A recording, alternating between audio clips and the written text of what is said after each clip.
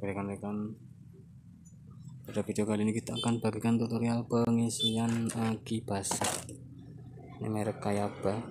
Yang pertama di sini biasanya ada tutupnya ini. Jangan lupa ini kita copot dulu ya dia. Ini tutup lubang pernapasan pada aki basah kalau aki kering dia tidak ada. Ini kita copot dulu ya nih. Lubang pernapasannya berada di sini. Kemudian nanti akan kita dapati selang yang mana selang ini untuk kalau di saat kita isi ulang air akinya dia tumpah. Biar tidak mengenai rangka mesin itu kita kasih.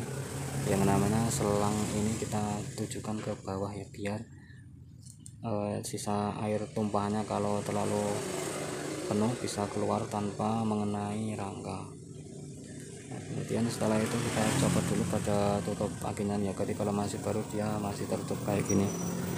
Kemudian nanti di sini adalah bau akinya kita di sini yang plus di sini min kita coba dulu untuk tutup akinya oke kita coba dulu satu dua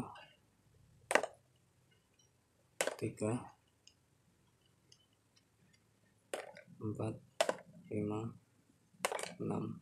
Kemudian kita isikan untuk aki sirnya jadi ini aki sir bukan air aki masih tertutup dan nanti kita pakai ini ya biar dia biar bisa masuk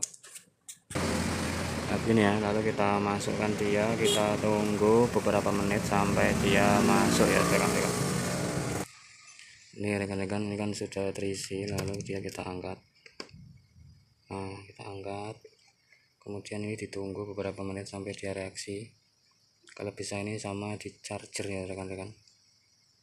Dan kemudian nanti kita tinggal menutupnya kayak gini ya.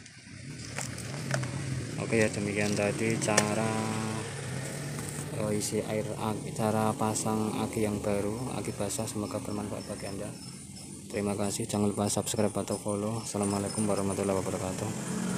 Ditunggu subscribe nya ya rekan-rekan. Terima kasih